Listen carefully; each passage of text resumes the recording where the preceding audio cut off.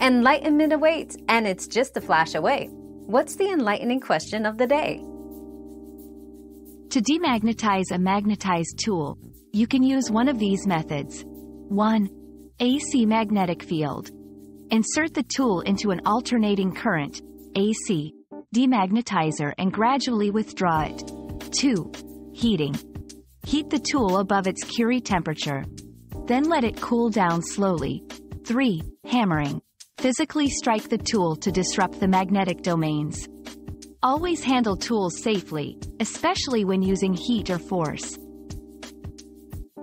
We've quenched today's curiosity, but there's always more to learn.